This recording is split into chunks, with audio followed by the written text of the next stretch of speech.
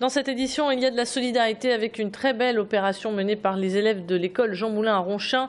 Depuis le 15 novembre, des centaines d'enfants se sont mobilisés pour quatre associations. Les Restos du Cœur, Ludhôpital, Vestiaire Solidaire et l'UNICEF pour les sinistrés de Philippines.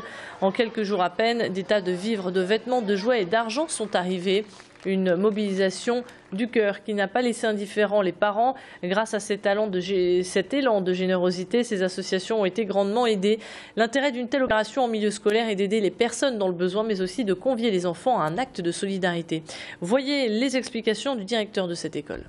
Déjà de sensibiliser les enfants bah, à leur future vie d'adulte, puisque la solidarité, aujourd'hui, je pense qu'on peut plus s'en passer et puis euh, bah, de, montrer que si on donne tous un tout petit peu, ça fait des belles actions à la fin. Quoi. Je pense que de toute façon, on sensibilise les enfants qui, eux, peuvent par la même occasion sensibiliser leurs parents.